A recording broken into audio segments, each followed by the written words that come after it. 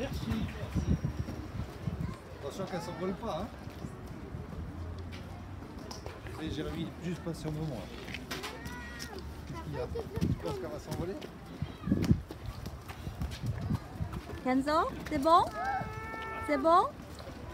C'est bon, Alice T'as tout rouge comme papa Noël. Tu viens voir là-bas, on va se mettre un peu à l'abri là-bas si tu veux. Comme ça. Marchez, Kenzo, marchez.